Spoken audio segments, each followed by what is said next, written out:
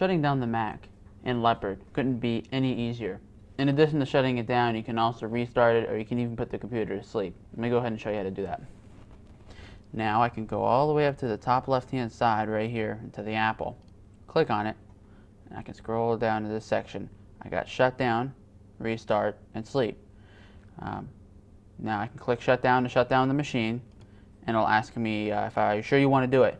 I can click yes, or I can click shut down to confirm, or cancel to go back and save something. Uh, you definitely you, you, you want to shut down your machine if you're going out of town or you're um, going to be away from your computer for a substantial amount of time. It'd be a good idea to shut down the machine so it doesn't eat up your resources.